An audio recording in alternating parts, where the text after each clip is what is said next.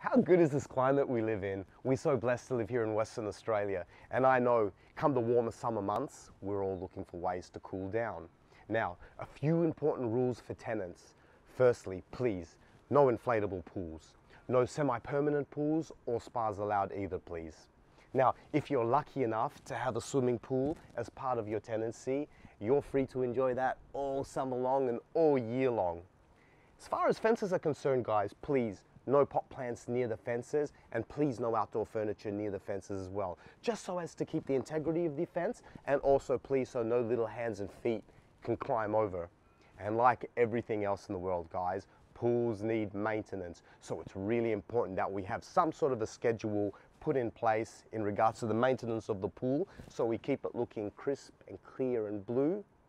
Remember guys, maintain it so it can entertain you. And I'm gonna get entertained now.